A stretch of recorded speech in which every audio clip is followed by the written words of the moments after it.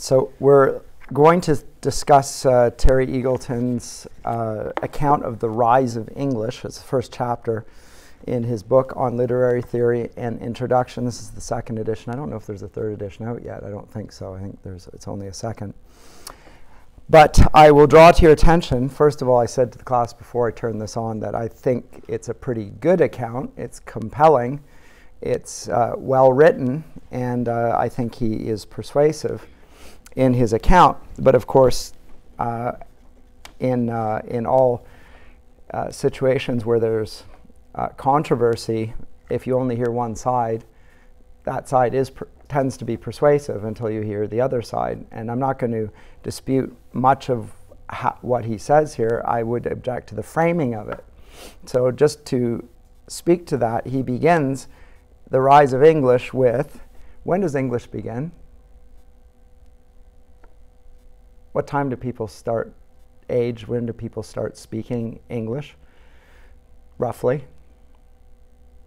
Fraser, when you're here, he would tell you you know you should know exactly. But there's Anglo-Saxon, which is the foundation, foundational, and at uh, Oxford and Cambridge, Lewis and Tolkien insisted that English literature begin with Anglo-Saxon, and the study thereof that all students uh, ought to know the, also the history of the language and its development because the language is part of the literature.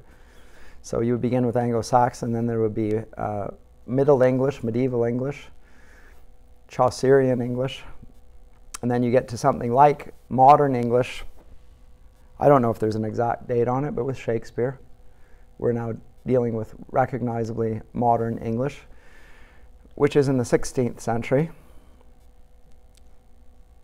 I don't want to spend too much time on it. but we saw last semester that in uh, Spenser's defense of poesy, writing in the 16th century, he was writing in English and he also wrote English poetry himself.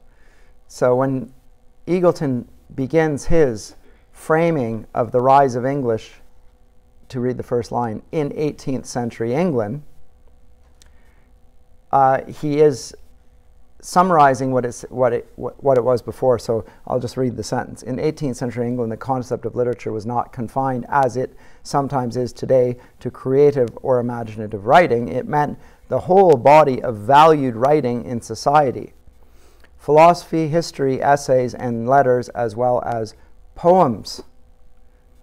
What made a text literary was not whether it was fictional. The 18th century was in grave doubt about whether the new upstart form of the novel was literature at all, he says, correctly, but whether it conformed to certain standards of quote unquote polite letters. Okay, let me stop with that.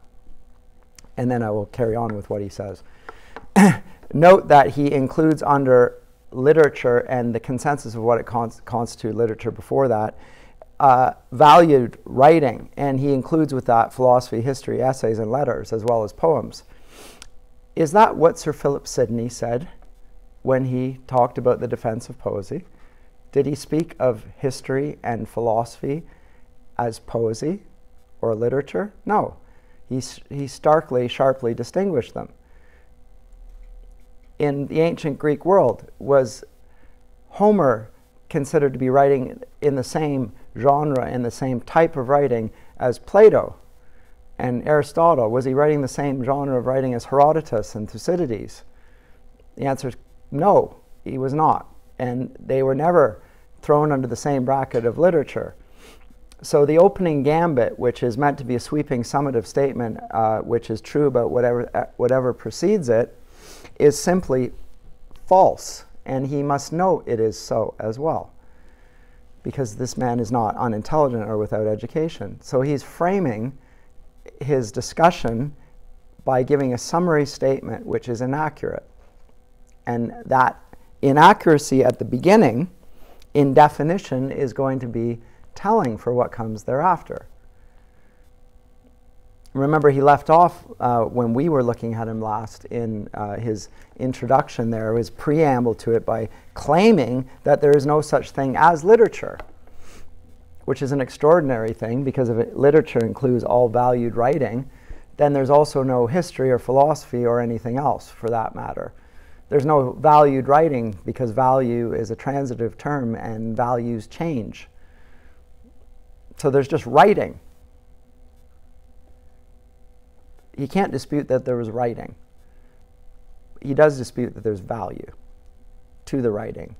And he throws everything else underneath that uh, very broad uh, net, I would say, and catches everything in it, or so he thinks. But just, just pointing out that he has misrepresented what the 18th century assumes uh, is, I think, helpful um, because I think it immediately undermines the whole case. And it becomes even more apparent when then you look at what did constitute literature and what literature meant before that. And we, we spent some time looking at what the literary tradition prior to this period did think about it. But there's no doubt about the transformation in the uh, Enlightenment and in the Romantic period. There's no doubt about that. But his summary of what happened before is, is troubling. Let me read on with what he says here. Now, he said whether it conformed to certain standards of polite letters. So, polite letters is the all of these, the what he's just summarized here. In, uh, in French, it's belles lettres, beautiful writing, rather than polite writing.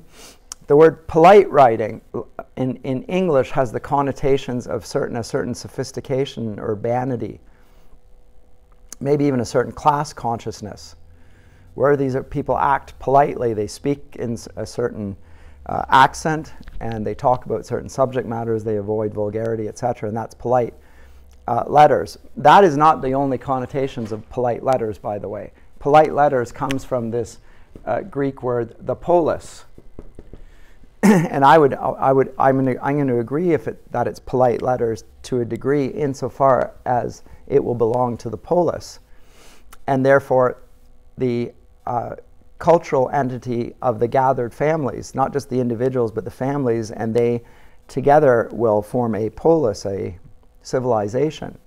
So it, it has a broader import than merely a class conscious type of ideological uh, presentation as Eagleton represents. So it is polite letters. That's correct. And it's for the polis, and it's for the governance of the polis, and it's for the understanding of the polis and what the purpose of the city is, what it is to be doing, what its cultural mandate is that in that I would agree with polite letters, but the way he puts it, it's just for people who drink tea with their finger, their pinky finger extended. That's they drink out of china teacups. now, read that on. The criteria of what counted as literature, in other words, were frankly ideological. Writing which embodied the values and tastes of a particular social class qualified as literature, whereas a street ballad a popular romance, and perhaps even the drama, did not. At this historical point, then, the value ladenness of the concept of literature was reasonably self evident. Actually, it's not even remotely self evident. Your presentation of it is reasonably self evident for an ideologue Marxist. Sorry. that, that is value laden, and it is reasonably self-evident. It's, it is self-evident. Uh, so what constitutes literature? Well, if Shakespeare is literature, you tell me are the working classes, not that it even exists, it's an anachronism, but in the 18th century, are the commoners presented favorably in Shakespeare's plays? Are they considered to be important people? Are they seen that way in classical literature? Not really, but are they in Shakespeare? Yes, they are. Are the middle classes presented? Yes. Are the aristocrats presented? Yes. Is there a sense of the whole and each stratum of the society having a significance represented in Shakespeare's views and in the way he presents the world? And I would say yes. I'm not going to argue it's not place for it, but I would say that it is the case. Well, that will include street valued ballads, popular romances, and, and so forth. So the common speech is being presented in Shakespeare's comedies. And that is in something that is most certainly called literature, even by Eagleton in his age. He say there may be a day when we no longer consider Shakespeare to be literature, but in his day, when he writes this in 1982, it most decidedly is. and in that text, we will see commoners being presented. Same thing in Chaucer, by the way. It's not just tales of aristocrats. The take, on the other hand, that, that literature and poetry historically had been about aristocrats stems from the Romantics. The Romantics said that previous poetry was about the aristocrats and aristocratic things.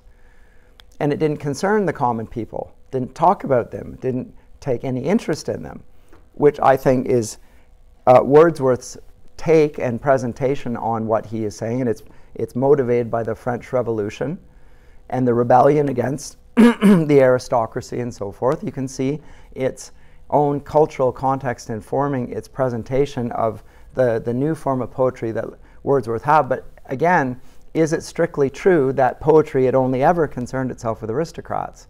And I think the answer is no. But the heroes did tend to be, I think.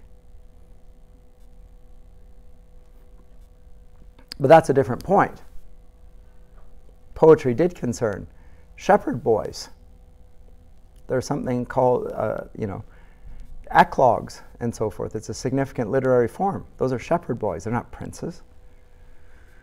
Comedies, likewise. Tragedies, for sure, they had heroes. They were kings, princes, and so forth. Epics also, but uh, significant genres of literature uh, concern themselves with the common life and a celebration of it. so when he says that the value ladeness of the concept of literature as a species of ideology is self-evident, it's self-evident in his framing of it, but not if you actually look at the history of Eng uh, even English literature. And he's talking about the rise of English, not literature in a broader sense. But I would say, with T.S. Eliot, as we saw last time, that English literature is hearkening back to a long age, so the individual talent is in a dialogue with the tradition, and that tradition goes back to Homer and the Bible and Virgil and so forth. And there is that tradition that accompanies the individual, and he's speaking within the context of that. It's a very different take than Eagleton's here. I just want to say that at the outset, because after we've said that, then it starts to become less objectionable. But take away, let's take away the framing, because the framing is going to then lead him to what comes at the end of it all, which is that we can dispense with the whole notion of literature because it was always ideological. Or rather, let's grant that it was always ideological and let's use a, an ideology which conforms to our age and get rid of previous notions of ideology in literature. And in this, he's not only attacking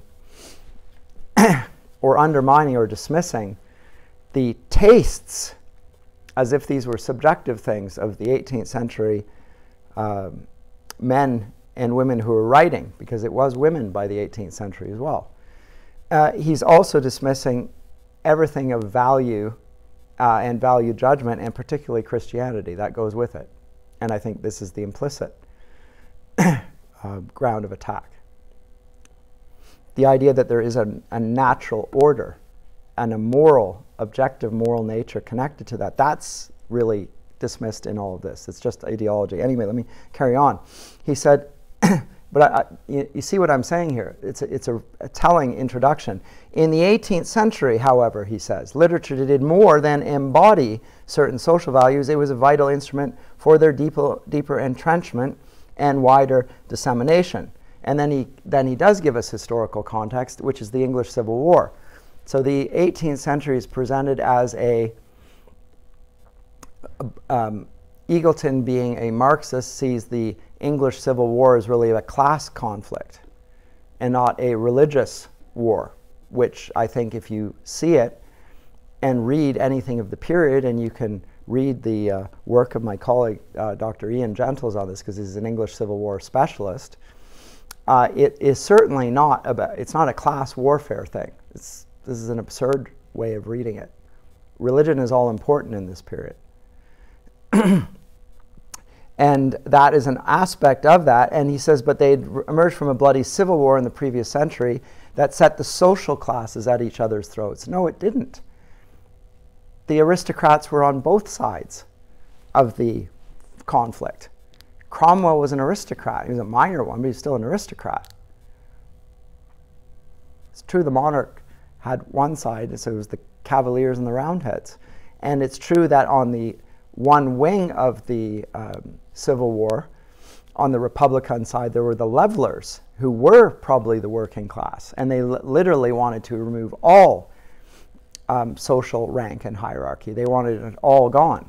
Now, in that sense, the levelers were the early precursors to the French Revolution and so forth, but they were not the dominant group within that coalition.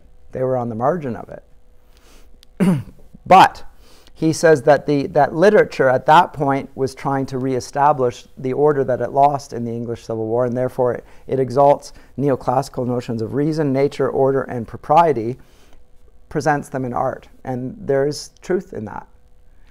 On the other hand, to speak against his thesis, the same thing's being presented in France, and there is no bloody civil war in France. And in fact, France is the center of neoclassicism the French Revolution had not yet taken place there. So it's not a reactionary thing for the French to embrace neoclassicism, right? No, there's, there's nothing to react against. So again, his, his take on it is, uh, I'd say, tendentious and misrepresents the situation. England is following France in the 18th century you might argue that it was, was doing so for reactionary reasons. But that's a, that doesn't explain why the French are doing it. Okay? so that, that I would say in that. Now, but he says literature uh, is then not what it will become, which is the Romantics' take on it, which is uh, uh, personal experience or personal response or imaginative uniqueness. Um, he says they, those don't count in the 18th century novel of Her- Henry Fielding. And he's, he's right, they don't.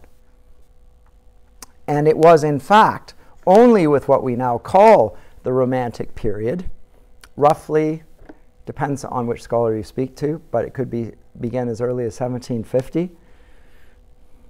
Probably the influence of Rousseau on English writing, um, and probably goes all the way to 1830, but it could be a shorter timeline. That's the Romantic period. He says it's only then that our own definitions of literature began to develop. Now, when he says our definitions of literature, who's our? Who's the we? I do think it's the, the, the general consensus of the literary establishment. But we just saw last time that T.S. Eliot was writing against that romantic tendency in appealing to tradition. No? And I mentioned T.E. Hulme with his Romanticism and Classicism saying the same thing even before Eliot. So, even in the midst of this movement towards a romantic view of literature and romantic view of life and a revolutionary politics, there is a, a significant, if maybe a not the central movement, uh, which is connected to a, a classicism and a traditional view which is opposed to the modern development. So when he says the we, he means everybody who's on his side sees it this way, as the way literature is. So it's imaginative writing. Eliot doesn't see it that way. Neither does Hulme. Neither does uh, actually any of the figures that he's about to cite. They don't see it that way either. And he presents them as if they did. In other words, uh, Eagleton is a, is a romanticist, just like Bloom is, by the way his assumptions about things. It's just that he repudiates the thing that is central to his thesis, namely that literature is imaginative writing, and if it's not imaginative writing, which he says it clearly isn't, then there is no literature.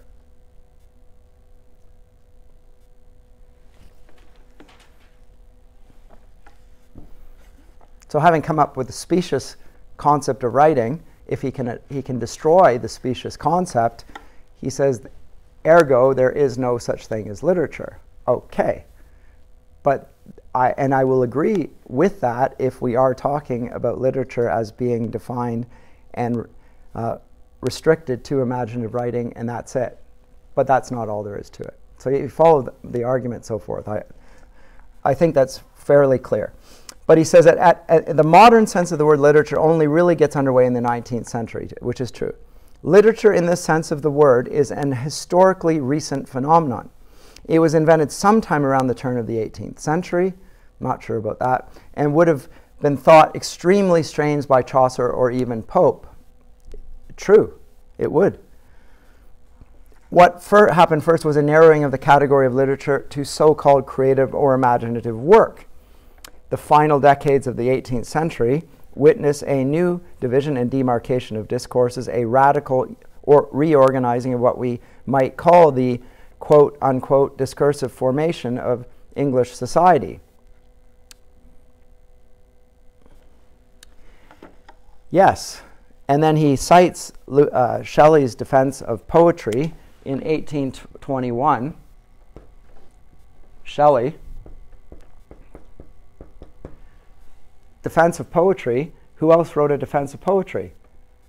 Sir Philip Sidney.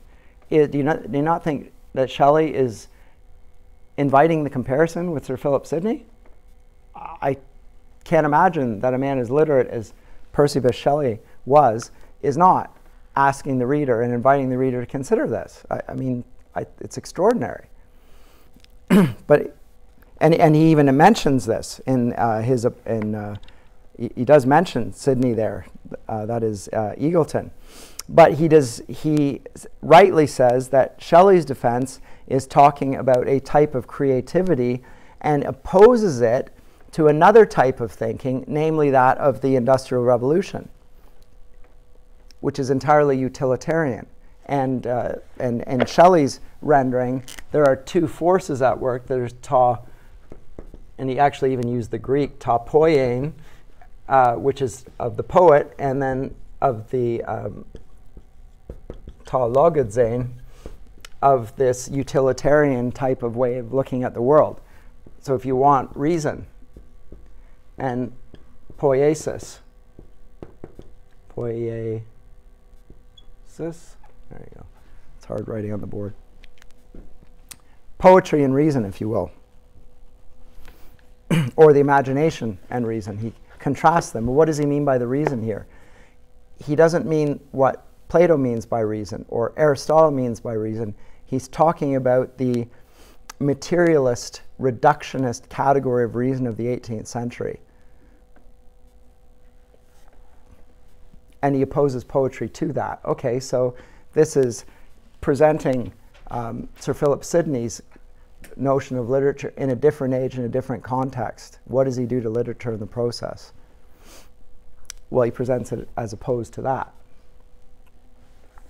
I don't disagree that that's what Shelley, to a large degree, is doing there.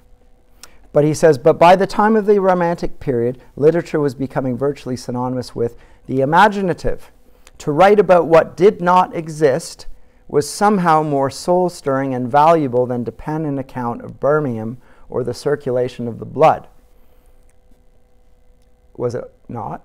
Is it not more soul stirring than an account of the circulation of the blood? I, if it's not, it's the worst work of literature I've ever heard.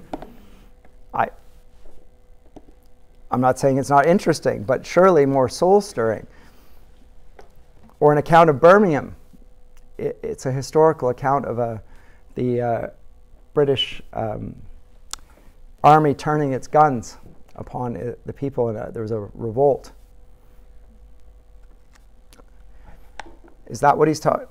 Is this not more soul stirring? Well, uh, at any rate, he talks about imaginary and inventive, and then he says, since we ourselves are post romantics, so the royal we here, and we are post romantics in the sense of being products of that epoch rather than confidently posterior to it. So we are informed by the, um, the romantics. So he, he admits what I've just said about him. He is a romantic in his sensibilities. He assumes that the, what the romantics said about the tradition and its rejection of the tradition is legitimate while at the same time dismissing the thing that they thought was most central, namely the literature of the imagination, which is a very contradictory and difficult place for him to be in. Because literally, he's saying that he has no basis for any of his views. We are post romantics. We follow in their wake. We think as they, as they thought. We assume that things are the way that they are. But I, Terry Eagleton, am telling you that the Romantics, of which I am one, were wrong. That's it. In which case, why am I listen, why am I reading you? So I hope you're not asking that. I'm, I'm reading this and I'm presenting it to you because the Academy follows in Eagleton's way. That's why. This is an influential text, and it does more or less uh, establish points of reference as truthful, which we can all assume in our account of um, the, the thing that most bad English essays or first, uh, first year undergrad essays begin with, which was in the history of mankind. It's the first sentence. You probably wrote them, I wrote them myself. For, first paragraph. In the whole history of mankind, and then that's, the, you know, and then we go on. Like, oh, okay. Which we've all read as 18 year olds, making the summary statement. And then, having made that summary statement, we will then roll out the romantic view of life. Because the romantics proved this definitively, right? Because we assume that we live in the post romantic era. So every undergrad who comes here is a romantic. I've said this to you in classes, and um, I didn't mean it to be insulting, it's more of a descriptive account. Uh, it's also insulting, but the purpose of noting it was not insulting. It's insulting because it's, it's, it's a ridiculous state of affairs. But my intent is not to insult the audience because they don't even know that what I think at that point. So we, and I would include myself under that description as well. I certainly wrote essays that made that sort of ridiculous sweeping statement, which every professor should scratch out and say, Have you read all of history? And, you know, have you read, have you read any, in fact? Have you done, have you anything but watch television? Anyway, so since we are these things, it's hard for us to grasp just what a curious, historically particular idea this is. He's right in that. It is very odd and it's very hard for us to grasp. Then why, when he notes this, does he insist on operating within it? Tendentious as it is. He said it would have certainly been most curious to most of the English writers whose quote unquote imaginative vision we now re- reverently elevate above the merely prosaic discourse of those who can find nothing more dramatic to write about than the Black Death or the Warsaw Ghetto. Indeed, it is in the Romantic period that the descriptive term prosaic begins to acquire its negative sense of prosy, dull, uninspiring. And that's true. It's a pejorative term in the come the Romantic period. Prior to that, it's a form of writing which simply doesn't have meter. So poetry is distinguished by meter, it's metrical writing. And there's certain genres of literature that are written in poetry with, with meter and a certain type of meter depending on the genre. But even prose will use literary devices. It will use rhetoric and forms of rhetoric. The schemes and the tropes that we looked about in practical criticism, you'll find them in uh, prose as well as in poetry. Uh, that's true. And, and we don't think that the writing of uh, Cicero is prosaic we would almost say it's poetic because we don't want to diminish it as powerful writing. At any rate, uh, so, so it, it, acquires this negative sense of prosy, dull, inspiring. If what does not exist is felt to be more attractive than what does, if poetry or the imagination is privileged over prose or quote unquote hard fact, then it is a reasonable assumption that this says something significant about the kinds of society in which the Romantics lived. Yes, it does. It's escapist. It's um, utopian. It's apocalyptic, even. I think this influence, so my take as a romantic scholar on what is a feature of romantic writing, this appeal to the imagination, this internalization of the quest narrative. You read heroic ballads of the, of the medieval period. Uh, the Knights of the Round Table, there's these quests, these adventures that they go on. You don't find them in romantic writing. There's an internal um, progression going on. It's the development of the soul of the narrator which you are witnessing. Let's say in, in uh, Dickens' narratives, it's the growth of the character as a moral individual. Think of Great Expectations. It's a Bildungsroman.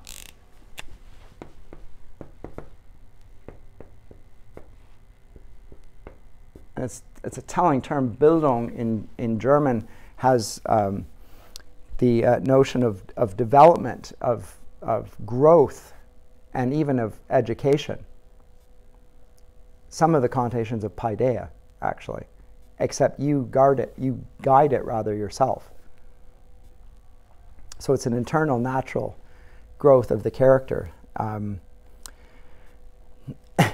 so it's a it's it's no longer there's no longer any um, governance from above. There's no plan. There's no sense of um, accord between the culture and the natural world. There's no sense of God uh, intervening, let alone uh, providing for the context of human history. There is a widespread humanist rebellion against all forms of authority. and the assertion, which you've heard me in my classes talk about, of the uh, individual seen as an orphan. So the heroes then become orphans in literature from this point onwards. That is very new. Any, if you look at the portrait of orphans in all literature prior to this period, it's the most pitiable state.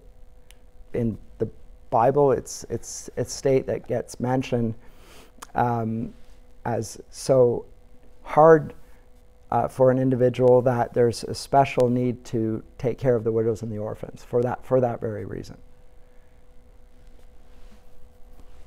But come the Romantic period, it takes on a very different uh, resonance and the imagination that goes with it. So an orphan usually does not succeed well in life. It's not a good place to begin. It's possible, but it's a, it is a hard beginning because uh, the human beings, being as depraved as they are, prey on the weak, and orphans are weak. They have no protection. Um, so, um, that is a, the kind of society. Well, what is that kind of society? One in which there is a throwing off of authority.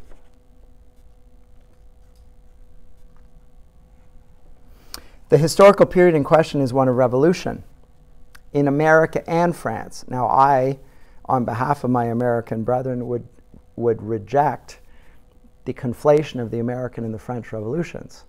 They're not the same. The Americans, um, uh, it, it's, it's a very different, I, I can't get into it here. But in France, they chop off the head of the king. They establish a statute to reason.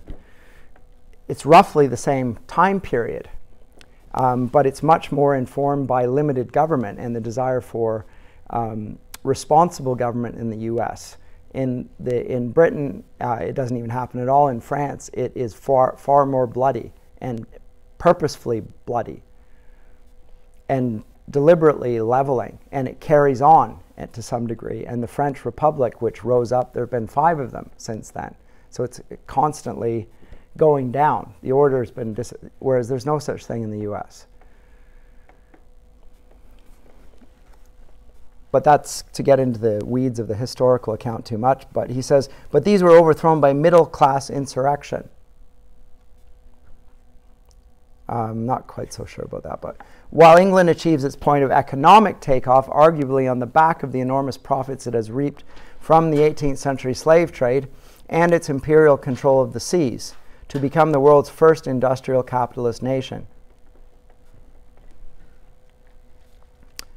All these claims I'm just going to throw uh, leave aside because I, I would dispute al- almost every one of them.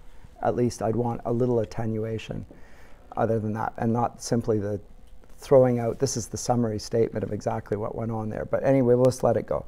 But the visionary hopes and dynamic energies released by these revolutions, well, I will say one thing about it the slave trade was abolished by the, the same middle class, by, by Wilberforce, uh, by Samuel, by a whole host of Christian and, and even all, and also non-Christian people who oppose it within Britain, and they paid back in terms of reparations uh, huge sums of money, gave up huge sums, which is not to deny the atrocity. But the, uh, the wealth that it was accumulated was, was given back in, in many ways. But uh, leave that aside. Um, there. But in England, a crassly Philistine utilitarianism, utilitarianism is rapidly becoming the dominant ideology of the industrial middle class. fetishizing fact, reducing human relations to market exchanges, and dismissing art as unprofitable ornamentation. Okay, so that description. Is this not true of Eagleton? He fetishizes fact. He reduces human relations to market exchanges. He's Marxist. And he dismisses art as unprofitable ornament, ornamentation. Did he not say literature is an empty set? So, wherein does he differ? I, I just don't see it.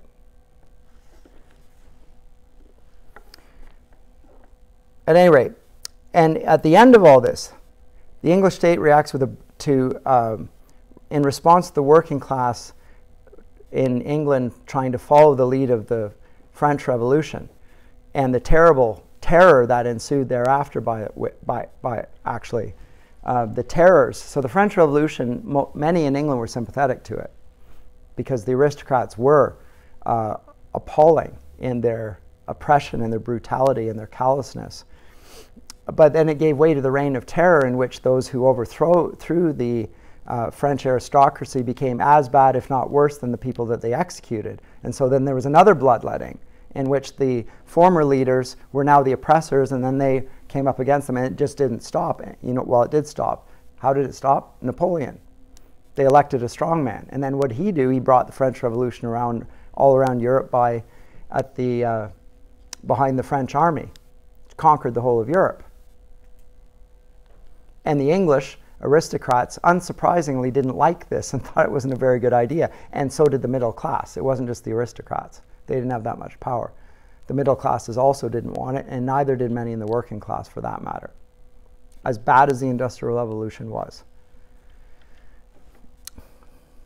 But I, would, I think that's at least debatable. But he says the English state reacts with a brutal political repressiveness which converts England during part of the Romantic period into what is in effect a police state. England, the place where the rule of law in general holds, where there is a separation of powers, in which there is freedom, and it's been preserved uh, like no other country, to my knowledge, is a, by this account, a police state. Come on. Okay, how about the account of France then? Does he talk about the French? No. Anyway, drives me crazy. But I will skip all, over all that and, and just note the points of contention on the account. but he talks about um, then the notion of literature that arises. So this is of imaginative creation. Imaginative creation as opposed to fact. And he notes this about romantic poetry, and I think he's correct in this.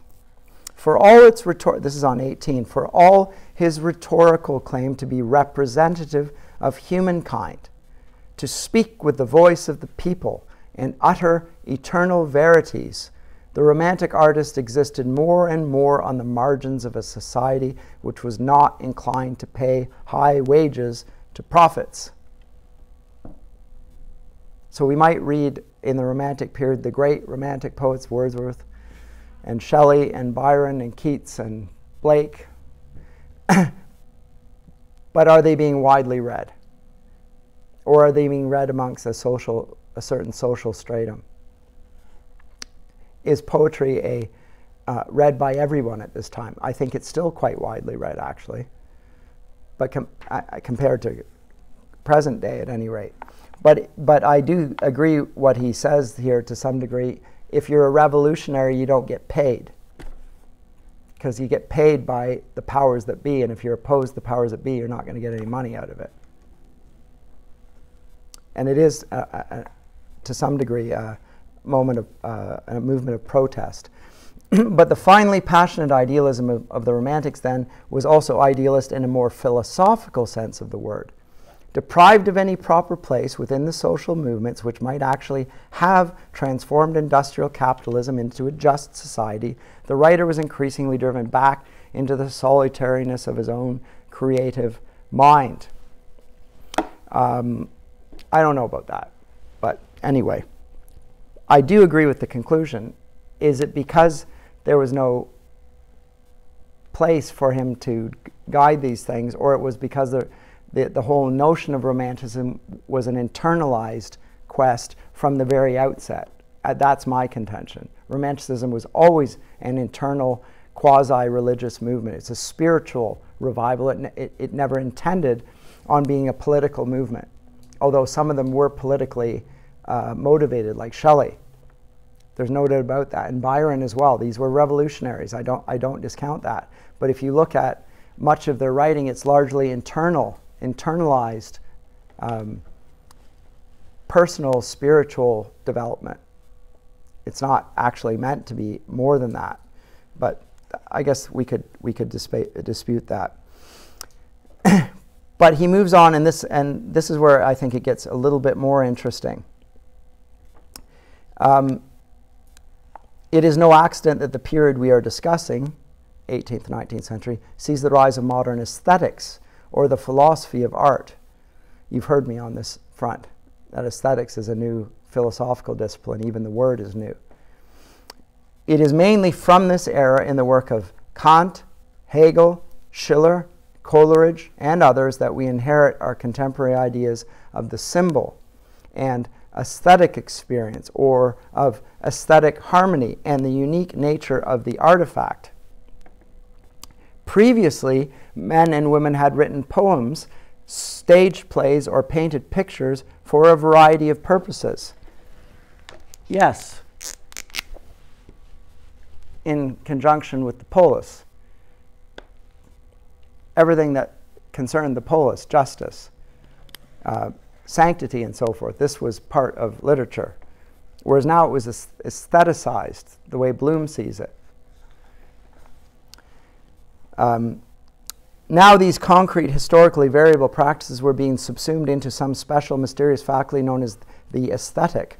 And a new breed of aestheticians sought to lay bare its inmost structures. It was not that such questions had not been raised before, but now they began to assume a new significance. Yes, the assumption that there was an unchanging object known as art, or an isolatable experience called beauty, or the aesthetic was largely a product of the very alienation of art from social life, which we've already touched on. That's partly true. What is also true, and this is my comment, is that art is in particular related to beauty, then, according to him. But I would say historically, art also conveyed more than beauty, it conveyed goodness and truth. And as we saw uh, last semester, the purpose of the poet was to movere et docere, to move and to teach, or to teach and to delight and instruction involves a moral component. If you're doing the C.S. Lewis course with me in the Abolition of Man, he makes that plain that historically all education had involved the passions and, and the moral element of man, the spirited element. Whereas this is only interested in aesthetics. It's not, it's not teaching per se. Or if it's teaching, it's teaching about aesthetics again, and it's only reducing itself to beauty for beauty's sake or art for art's sake, which Bloom presented as the whole purpose of literature, which is a remarkably ignorant statement for such a well read man, again. Historically ignorant, uh, traditionally ignorant. But he says that this view was the product of the very alien alienation of art from social life. Yeah, but more than that it's reducing beauty from, or it's in connection with the sublime. Remember, I talked about this in the 18th century, this new category, this aesthetic category of the sublime as opposed to the beautiful, right? The severance of the two in first Edmund Burke and then in Kant, where they're two categorically different experiences. It banishes beauty from the consideration. The aesthetic is mostly concerned with the sublime.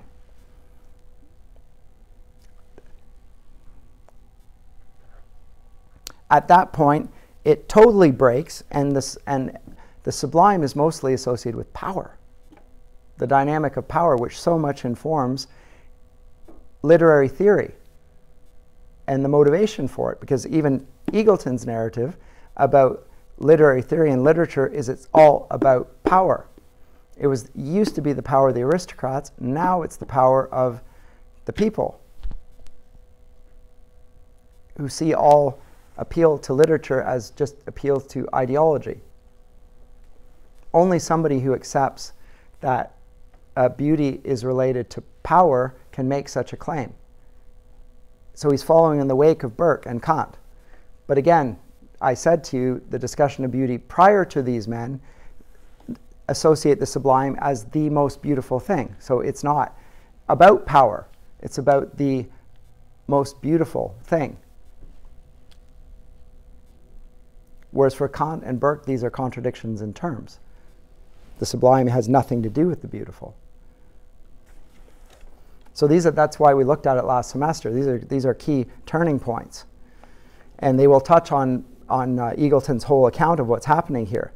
But he says if literature had ceased to have any obvious function, which it does after Burke and Kant, socially that is, if the writer was no longer a traditional figure in the pay of the court, the church, or an aristocratic patron, as was uh, Dante or as was Virgil, they had a very wealthy patron, then it was possible to turn this fact to literature's advantage. The whole point of creative writing was that it was gloriously useless and end in itself, removed from the sordid social purpose. Having lost his patron, the writer discovered a substitute in the poetic.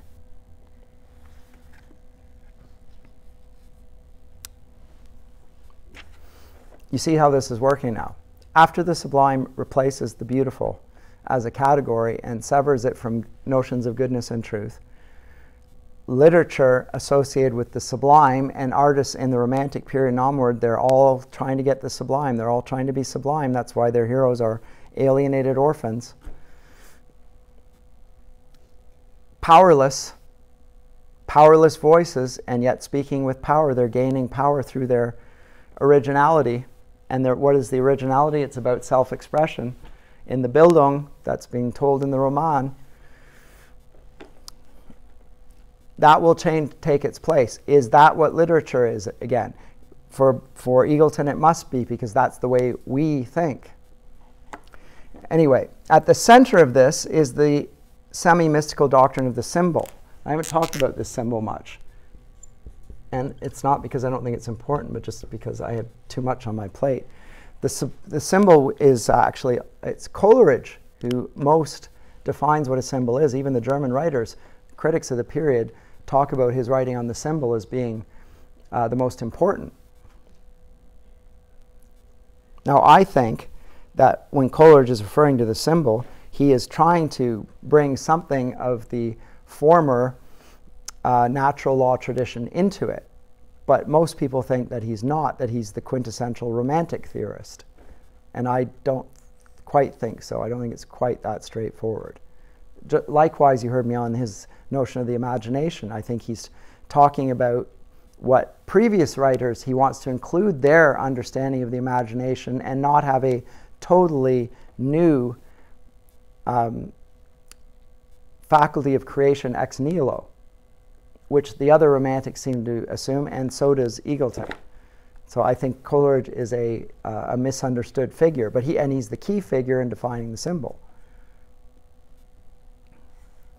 What, is, what does the symbol, symbol mean? I'll read his account here, Eagleton's. For Romanticism, indeed, the symbol becomes the panacea for all problems within it a whole set of conflicts which were felt to be insoluble in ordinary life between subject and object, the universal and the particular, the sensuous and the conceptual, material and spiritual, order and spontaneity, could be magically resolved. It was not surprising that such conflicts were sorely felt in this period because of the social context. He'll explain this.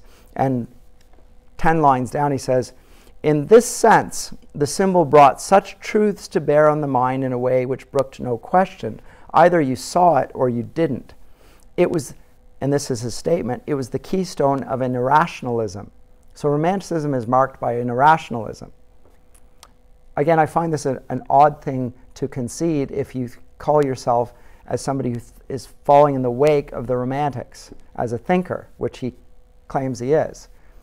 How can you claim that Romanticism is at its roots irrationalism and claim that we think this way without acknowledging that what your account is must ipso facto be bunk? But there we have it. He says it was the keystone of an irrationalism, a, or rather, he demonstrates that he's not irrational by debunking the irrational. Right? Because there's no such thing as literature. But that doesn't solve the problem, because he's still a romantic by his own confession. He just doesn't believe in what they believe. He believes in material progress, the bourgeoisie being overthrown by the proletariat and so forth. So, but it was the keystone of an irrationalism, a forestalling of reason critical inquiry, which has been rampant in literary theory ever since. It was a unitary thing. And to dissect it, to take it apart to see how it worked, was almost as blasphemous as seeking to analyze the Holy Trinity. Now, I want, you to, I want to stop there with this comment because he, he's absolutely correct. So, let me move forward chronologically from this period, the Romantic period, to the study of English literature in the 1970s and 80s when he's writing this, when theory is brought into the academy, as I said to you, post 1960s, and it was received very badly. The literary establishment was more or less defending literature in the Romantic sense. There were traditionalists amongst them, but by and large, they, they existed side by side. They had a common view of uh, the humanities there was a common human nature. They were defending more or less the same thing. Some of them were more aesthetically minded, some of them more traditionally minded, but the Romanticists and the Classicists sort of coexisted side by side. Come theory, that consensus is broken because the theorists are questioning the very ground of unity which was in the symbol. So they break the symbol, say they see themselves as iconoclasts, and they are iconoclasts. They break up that consensus which never ought to have existed.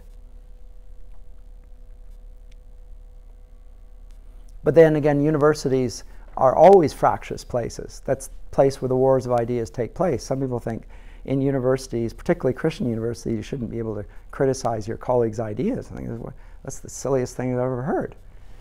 What else would I do? I present my ideas, they get criticized, and I criticize others. And we, it's the purpose of this is to come to an understanding of what the truth is, a better understanding. That goes with the goes with the territory. There's nothing personal in it, although we take things personally. As I like this idea, I'm going to try and defend it. Well, okay. So somebody, it's very combative. All right.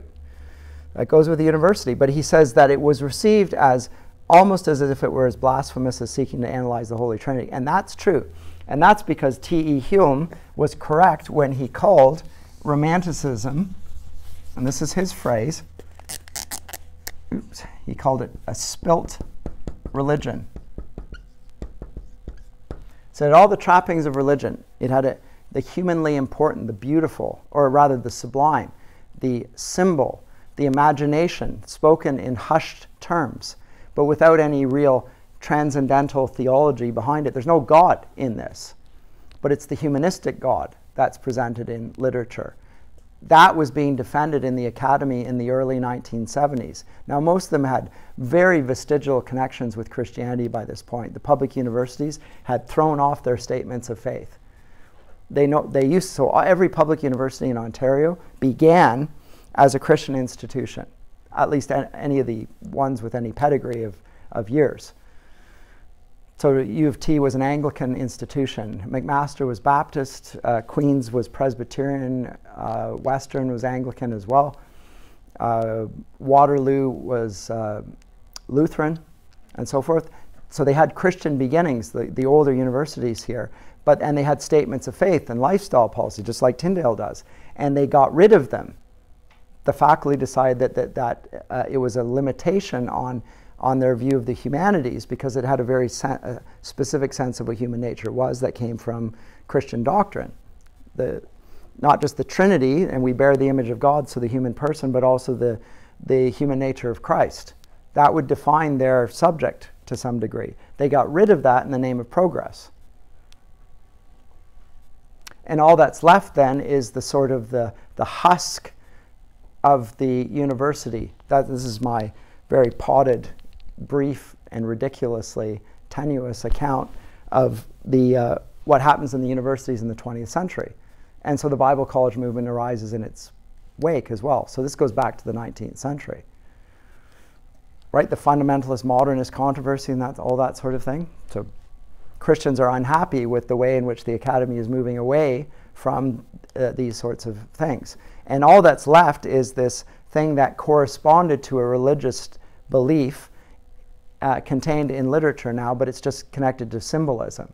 And the literary theorists of uh, Eagleton's ilk are being blown apart by, by the theorists. So they're re- regarded as iconoclasts and bad guys, right? And, and despisers of literature. I mean, listen to Bloom and his, his account of it. These are people who despise literature. He's correct, they do. And he's also correct in thinking that there's something there that's worth holding on to. It's just his defense of it that I find indefensible. Because he's really talking about the thing that nobody thinks this way anymore. You really are a dinosaur. Although I prefer that dinosaur to the, the new beast that tore it apart, but still, this is not a defensible position. You're defending the 18th century sublime, more or less, in art, and the trivial, and saying that they can have no relevance, and that's why we should do it, because it has no relevance. Wow, extraordinary. Anyway, so he says this literature in the meaning of the word we have inherited. This is, again, summary statement at the bottom of 19 in the meaning of the word we have inherited is an ideology. Okay, so you explain to me literature in the meaning of the word we have inherited. What is literature in the meaning of that word? What is that form of literature? I speak all the time. What is literature in the meaning of the word we have inherited? Is an ideology. What is he referring to? What period? What understanding of literature? Replace the word literature with one other word. Can you come up with one?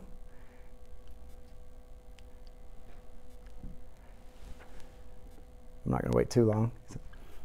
Romanticism, or the symbol, or imaginative writing. Yes, in the ways in which it's presented, it is an ideology. It is. It's an ideology of irrelevance, to use Bloom's so come to university, study English, and take delight in irrelevance. And it will really benefit you. You're going to do really well in life. Come, come on. And you pay 10 times more than I did when I went to university to do that as well. And it, but it's relevant, and it's, it's, it's a time tested form of irrelevance. It's just as relevant now as it was when I did it. And uh, if that, and I think that's a true statement. If it is irrelevant, then uh, it's just as relevant now as it was then. It remains as irrelevant as it always was. Okay. And, and that's an ideology. Okay, but is that literature? And I think it begs the question. And I've already answered the question by the way I've constructed the course and the way I framed even this discussion. But at any rate, he says it, is the, it still has the most intimate relations to questions of social power. And that's interesting. Why does it have the most intimate relations to questions of social power? Now, let me dig down just for two seconds on that. Why the most intimate relations to questions of social power? Because it is related to the sublime or the beautiful, and both of them, following both Kant and Burke, are connected to power. The beautiful is something that we feel powerful in the face of. We see a little kitten and we feel its weakness. And we say, oh, it's cute. It makes us feel beautiful feelings. We see an enormous mountain, the top of which we cannot see, and we feel a sense of our finitude, our mortality. And that's a sublime feeling. It's all about power. and we have an intimate feeling of that. Is that what literature is all about? Well, he says it's, it is. That, that is exactly what the intimate social relation is. So, our, if we're romanticists, then we invariably interpret all literature as about power. As soon as we agree to that, and I do agree to that, that is the romantic conception, the post Enlightenment conception, Burke, Kant, and everyone that follows, then we either have to accept that and say that literature is an ideological um, exercise of power for somebody, against somebody, or over somebody, or we have to get rid of the whole dang mess and blow it up and go back to a better and forget about literature and stop reading it. Or you need to look at it differently, and the purpose of this course was to look at it differently. But if the reader's still unconvinced, the narrative of what happened to literature in the later 19th century might prove a bit more persuasive, and then he goes on to do that. So then he comes to the 19th century. Now I'm going to have to go over this very quickly, and I'll just mention a few keynote names. We've got 15 minutes now. Uh, bottom of 20, he refers to George Gordon, early professor of English literature at Oxford. And this is his inaugural lecture. And he says this England is sick, and English literature must save it. The churches, as I understand, having failed, and social remedies being slow, English literature has now a triple function. Still, I suppose, to delight and instruct us. Teach and to delight. So he's, he's an educated man. Literature's always done that but also and above all to save our souls and heal the state. Okay, so this is what happened to literature in the 1930s. It became a substitute religious faculty where people no longer went to the church for answers, they went to literature professors for answers about the most profound questions of humanity. We'd find that in great works of literature. And then they would have went to men like one who we will look to, Northrop Frye, the great uh, Canadian figure of the literary establishment, who was the uh, principal of Victoria College, um, uh, who spoke and, and really, in some ways, pioneered studies in the Bible as literature. You know, three books he wrote on it, and, and he's a very good critic but he was read almost as if this is a, a, new religion. And people who studied English in this period, so in the 1920s, he will say it's a, almost a uh, illegitimate discipline. In the 1930s, if you have in, any interest in being at the cutting edge of everything, then you study English literature. And I would say it held that position from the 1930s all the way up until the 1960s. So literature was the discipline for a society that, on the whole, had abandoned um, the church and stop believing what the church was saying about life. You would go to your English professors and the foremost on that front. He says Gordon's words were spoken in our own century. Remember, this is the 20th century when he writes this. But they find a resonance everywhere in Victorian England. It is a striking thought that had it not been for this dramatic crisis, in mid 19th century ideology, we might not today have a plentiful supply of Jane Austen's case books and Bluffer's guides to Pound. This is him savagely satirizing the industry, the publishing industry. The key figure is Matthew Arnold, top of 21, actually six lines down. Always preternaturally sensitive to the needs of his social class. Arnold, who writes um, Culture and Anarchy, Arnold is a classicist, but particularly of, of Greek culture. Very influential in, in, in England, but also in the United States. He comes across the Atlantic and lectures as well. In the main, like at, at Harvard and Princeton and so forth, so the, the big Ivy League universities. And he says that the urgent social need is to Hellenize this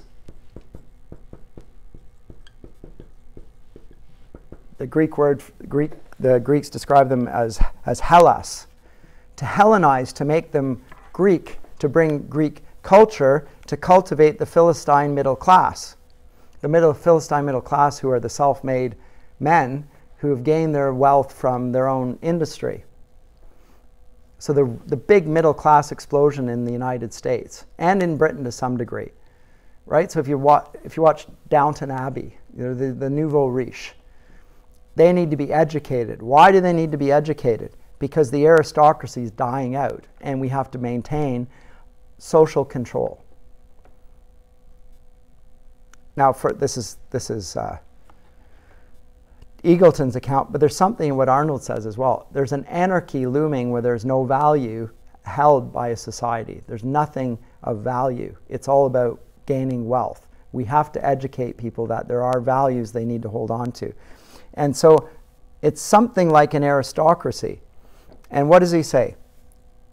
State established schools by linking the middle class to, quote, the best culture of their nation will confer on them, quote, a greatness and a noble spirit which the tone of these classes is not itself at present adequate to impart. So it's in order to, to maintain social order according to uh, Eagleton. I think there's a little bit more to it than that. But he is acknowledging that the, we, it's no longer the aristocrats that call the shots anymore. It, democracy and the expansion of the vote uh, which will uh, eventually follow um, and already has happened in England and will eventually come to women in the 20th century, um, will mean that everybody who has a vote needs to have the uh, knowledge that aristocrats once had in order to guide us with wisdom and, uh, to make good judgments. Otherwise, the nation is going to be destroyed. and then here's the quote from um, Arnold that he gives, and it's a lengthy one. It is of itself a serious calamity for a nation that its tone of feeling and grandeur of spirit should be lowered or dulled. But the calamity appears far more serious still when we consider that the middle classes, remaining as they are now, with their narrow, harsh, unintelligent, and unattractive spirit and, and culture, will almost certainly fail to mold or assimilate the masses below them, whose sympathies are at the present moment actually wider and more liberal than theirs. They arrive, these masses, eager to enter into possession of the world, to gain a more vivid sense of their own life and activity. In this, their irrepressible development, their natural educators and in initiators are those immediately above them, the middle classes if these classes cannot win their sympathy or give them their direction, society is in danger of falling into anarchy. That's from Culture and Anarchy. So he's laying it upon the middle class to educate the working classes by being, by, um, being good role models, effectively, by being teachers. As the aristocrats were once looking after the, the uh, people on their estate, so now the middle class, it's laid on the middle class to hold society together. Because the aristocrats no longer have the power and, or the prestige or the influence that they once did. So that is the aim. And he says he's refreshingly unhypocritical. It's not because he cares about the working classes, it's just to keep them from themselves, basically. So literature in this account becomes the opiate of the middle class. This is account of, his account of the rise of liter English literature. It is a sort of a middle class religion. And if you look at how literature is studied in the main line and presented, the Bible is presented in mainline denominations, you can see that they treat the Bible as a work of literature only. And as their mandate to have a so certain social standing, it's a big social club, and we ought to look out for the poor by which they mean we ought to keep them in line. It's more of a social obligation. But I'll skip over all that. Um, then he goes on to the um, how uh, English as an academic study, because this is not an academic study uh, uh, subject as such. That will rise after this. And it first begins not in universities, but in working men's college, colleges. So um, further education. So a college like here, you could go and study literature there. For, for men who had uh, very little schooling but wanted to read um, great books, and get some sort of an education, you could go there. That's where it was first taught. So it's a cheapish form of liberal education. So it doesn't require Greek and Latin. You can do it in your own language. But you will gain moral values there. That's the purpose of it. and F.R. Leavis, who he mentions here on 24 and 25, is the most important figure in the 20th century in some ways. Um, Leavis regards literature as the moral ideology of the modern age. So, this is where we learn moral values. So, it's the moral sense tradition. F.R. Leavis, L E A V I S.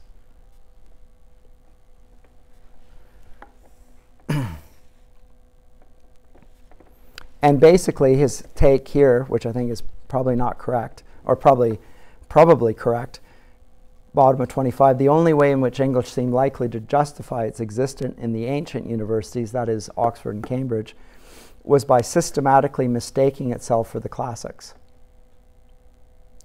But the classicists were hardly keen to have this pathetic parody of themselves around.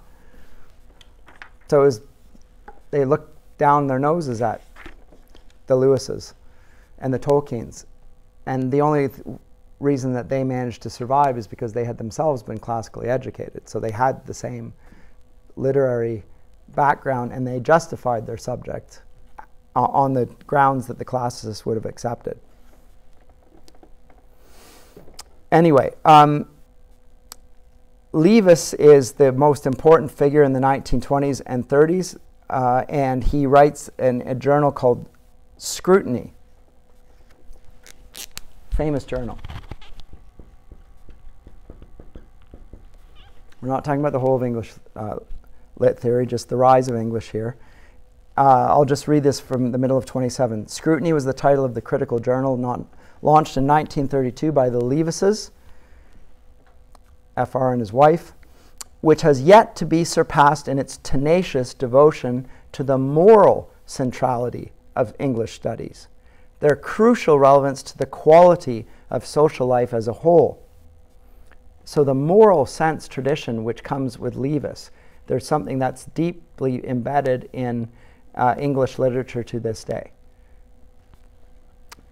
And he says that there are to this day English students in England who are Leavisites, whether they know it or not. Irredeem, irrem, ir,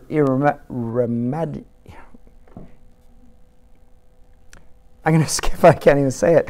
Altered by that historic intervention. Gosh, I can't even, I can't say it. That's a funny thing. You don't have to be a card carrying Leavisite any more than you have to be a card carrying Copernican.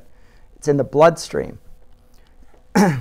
and they see that it, there has to be a moral component in English literature for it to survive. That's its legitimacy. In that sense, I guess I'm a Leavisite. But note this Leavis had a canon of literature, and Lewis objected to it. He didn't like the idea of a canon of literature. He didn't like that there was going to be a moral pope who was going to be Leavis telling us what we ought to read. He thought it was a bad idea. He didn't think that there was an, an analogy to be made between the canon of scripture and the canon of literature. It has all the wrong connotations. Literature is not a substitute for what scripture does. Whereas for Leavis and the, I would say, the humanist movement, it is a, a sort of substitute religion. And I would grant you it's probably better than something, uh, some of its alternatives, but still I don't think it's adequate.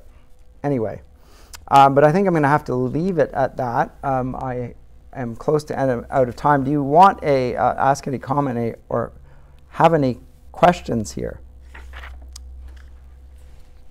But note their their methodology. Let me conclude with this the methodology of the Leavisite was close reading.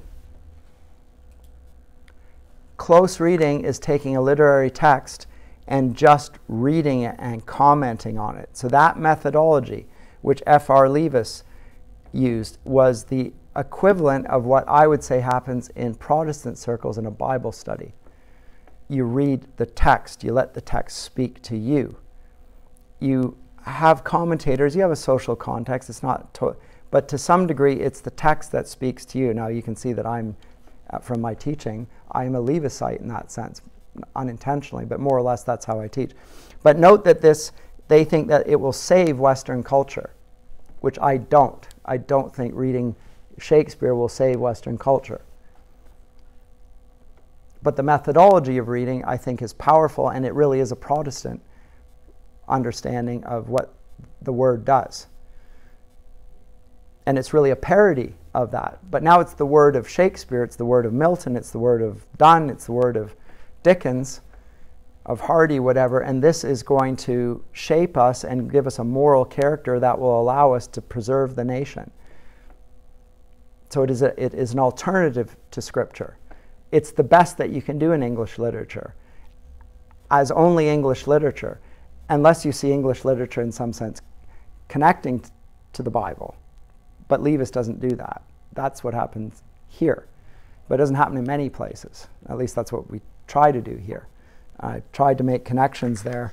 Um, but that's not what Leavis does. But that's, that's the rise of English. That's his account of it. I've given my uh, critique of it, but also my appreciation for it. I thought, hope you found it valuable. We come next time to hermeneutics.